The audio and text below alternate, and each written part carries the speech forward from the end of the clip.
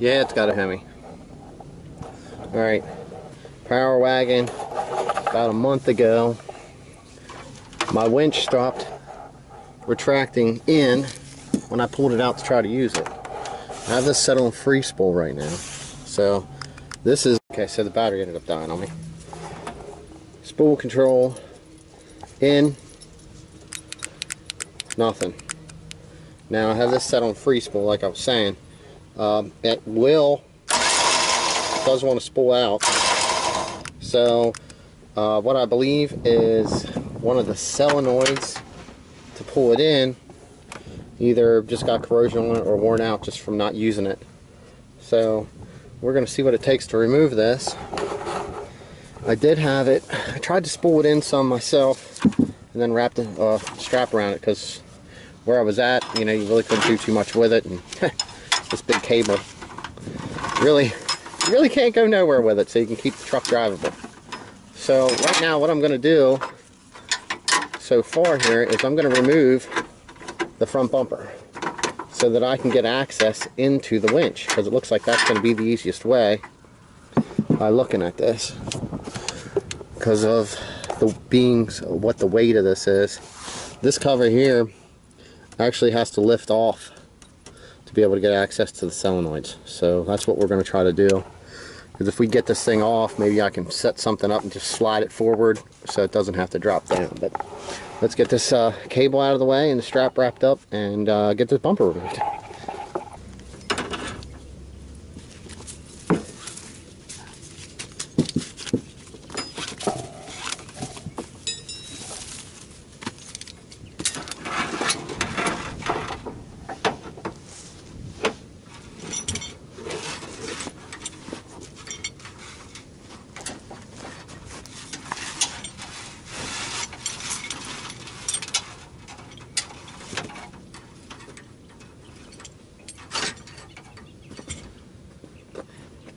out of that cable.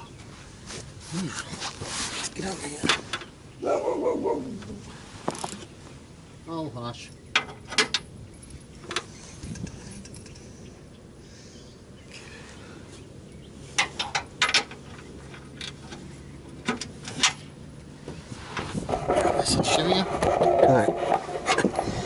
There is, I don't know how good to, there it's starting to come in. One, two, three. Two, three. And then up here, this is the plug for the fog light, fog light harness. You're going to want to unplug this. So we're, all right. So up in here, here's our fog light clip. We just pulled it out. Slide your red piece up. See if I can get this one handed. Push in here on this thing right here. Slide the clip out.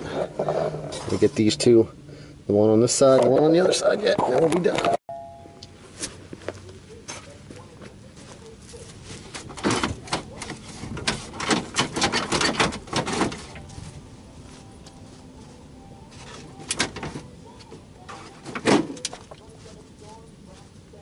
Just gets caught on the side.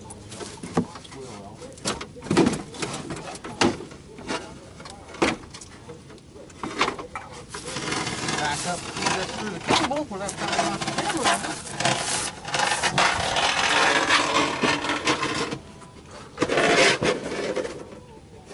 Here we go.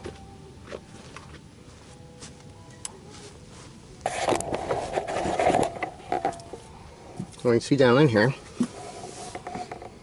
like two of our main points.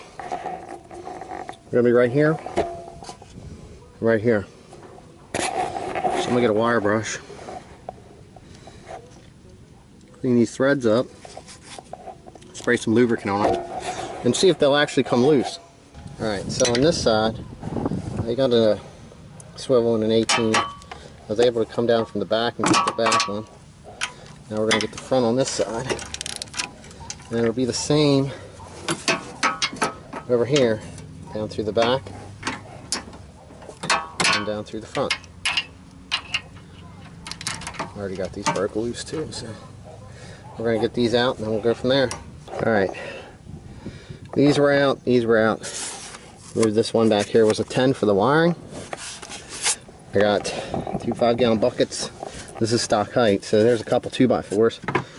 It's a little loose on this side because it's still hanging on the sway bar. But we did get this release down far enough so that we can get access to remove the panel to get to our solenoid.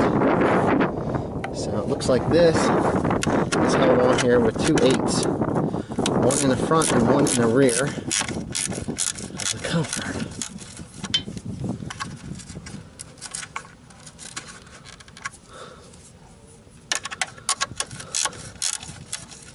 Where's this one?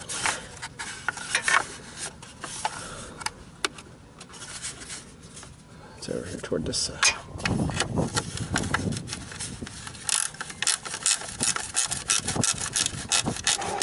Alright, we're gonna get these off. Let's show you what it looks like inside. I just want to mention there was another one over here on this side. So we have three of those removed now. So we can lift this up and actually see inside here. So it looks like we have four solenoids.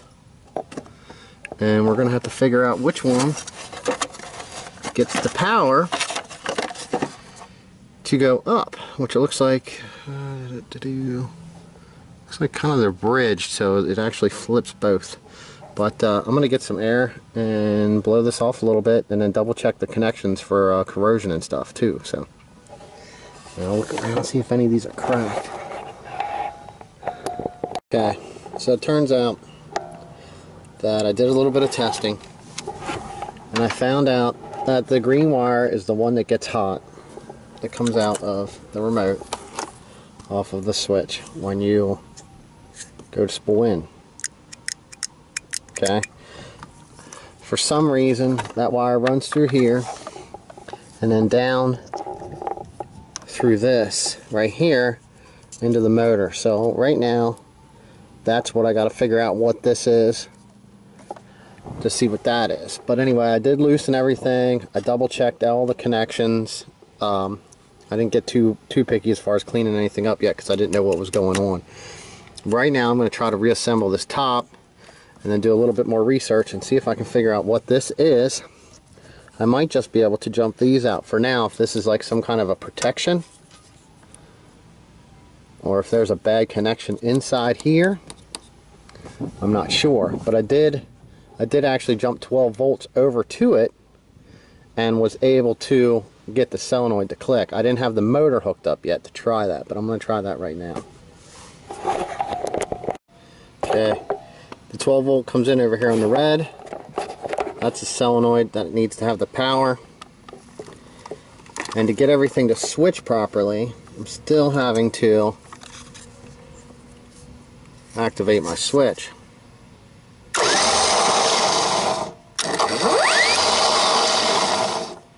That's actually out. This is in. Here's, here's with no power going to it. In. In. So whatever whatever runs through this little plug over here, that's where our issue is. So I'm going to get this all tucked back together here as far as the top is. Alright, so what we're looking at here, what I believe is the thermal protection on the end when you're drawing it in. I guess uh, it builds heat. It did it did shut off on me once or twice when I was pulling just off of the battery. But with jumping that out, I now have spool going in both directions.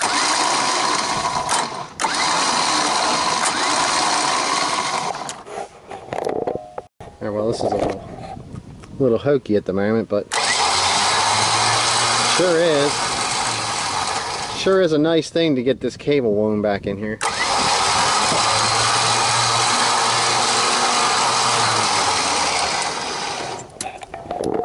Alright, so the moral of the story is you didn't need to remove the winch or the bumper. So if you have a problem with the winch not wanting to spool in but everything else seems to be working, try and plug in the thermal protection on this one, which comes in here, and uh, jump it out up here and see if that makes it spool in before you go taking the time to remove everything. And then you'll know.